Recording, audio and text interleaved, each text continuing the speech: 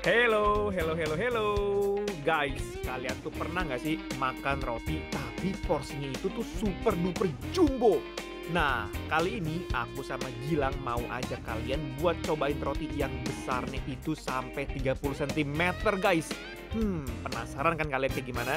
Udah, mendingan sekarang kita langsung aja kita cek sama-sama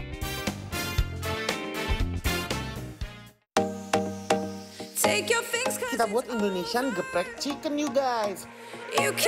Next, kita siapkan minyak panas dan langsung kita berenangkan ayam filenya di fryer. Kurang lebih 10 menitan guys. Lalu angkat dan potong-potong ayamnya. Roti jumbo yang panjang ini 30 cm guys. Dioleskan margarin dan dipanggang bolak-balik seperti ini selama 10 menit. Setelah matang dengan sempurna, taruh rotinya di atas talenan, lalu diisi dengan lettuce, ayam yang sudah digeprek, dan banjiri sambal gepreknya guys. Terakhir taburi daun bawang dan membuncah banget nggak sih?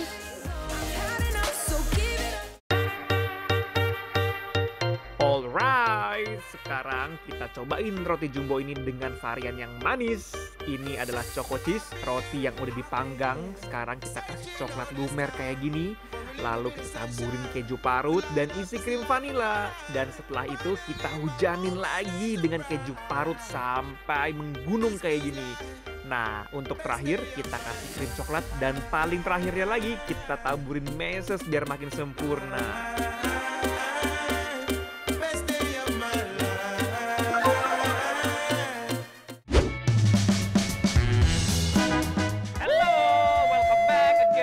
Again with us di Bikin Lapar. Lapar terus guys! Mantap. Sekarang kita lagi ada di mana nih kak? Ini kita ada di Tiktos di daerah Gading Serpong.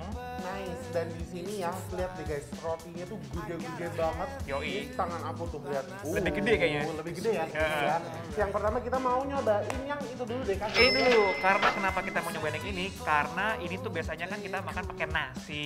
Yuk, Nah, coba langsung dibelah saja kak rotinya. Wow,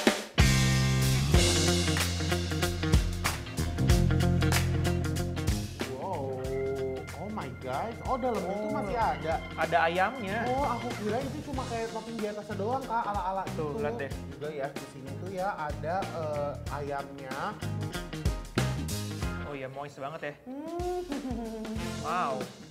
Kita coba. Coba ya, kita cobain guys. Let's go.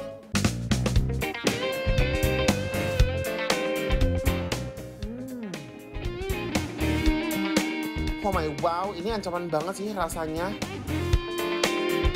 Ah, Concern pertama aku adalah hmm. si cabenya. Aku kira ini bakalan pedes banget, tapi ini masih bisa di eh, Toleransi. nikmati banget ya. Ya, Dan rotinya dong kak.